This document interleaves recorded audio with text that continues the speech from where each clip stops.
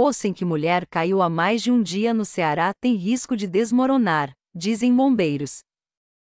Bombeiros estudam uma outra estratégia para escorar as paredes e, assim, evitar o desabamento. Assisto agora, em Últimas Notícias. O poço de 30 metros de profundidade, no qual uma mulher de 48 anos que caiu dentro, em Juazeiro do Norte, tem fortes riscos de desmoronar, segundo o Corpo de Bombeiros. Sônia Cristina Pereira da Silva está desaparecida há mais de 24 horas. O acidente aconteceu nesta quinta-feira, 24. Na ocasião, uma outra mulher também caiu no poço, mas foi resgatada às 17 horas. Segundo o tenente-coronel Agnaldo Viana, que trabalha no resgate, os bombeiros estudam uma outra estratégia para escorar as paredes e, assim, evitar o desabamento. Ele disse ainda que, por conta do risco de desabamento, um engenheiro aconselhou que nenhum bombeiro descesse no poço até que as paredes fossem escoradas. Abre aspas. Ainda não resgatamos. As paredes correm risco de desmoronar. Estamos estudando uma outra estratégia de escorar as paredes. Pela manhã está chegando uma equipe especializada em estruturas colapsadas. Vamos fazer o possível para estabilizar as paredes que podem ruir. Vamos pedir a Deus que não chova. Fecha aspas. Disse o coronel. Os trabalhos no local devem seguir durante a madrugada.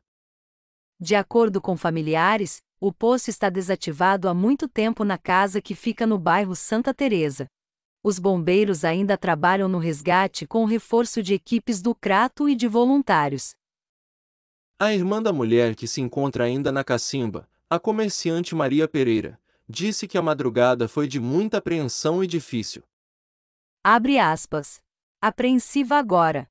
Hoje estamos aguardando um guincho para poder fazer a retirada da tampa da cacimba, que está sobre ela para poder resgatar ela. Tudo está na mão de Deus. Escutamos um barulho e quando corri para lá gritamos. Meu pai que desativou ela a cacimba e colocou a tampa. Madrugada muito difícil, pois à noite teve muita chuva. Fecha aspas. Contou.